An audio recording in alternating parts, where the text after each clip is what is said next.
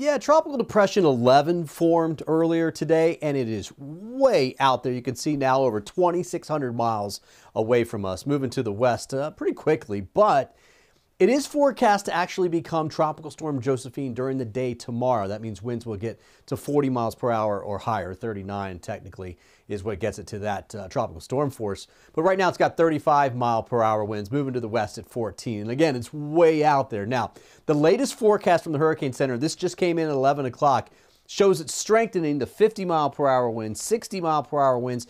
That would be Wednesday and Thursday. And then look what happens on Friday back down to 50 mile per hour winds, Saturday to 45, and Sunday down to 40. They're shear right in this area, and that's what's going to basically keep this thing from getting too strong. At least that's what it looks like now. Plus, the modeling actually recurves it anyways. At least most of the models do. And so that's why I'm not too worried about this one. Of course, we keep our eye on all of this. But this is the shear. And look what's happened. All this green area that you see here is the shear. So as the system starts to move up and get in the next couple of days, it's not in a, in a very sheared environment. And so that means it will strengthen, and that's what the forecast calls for.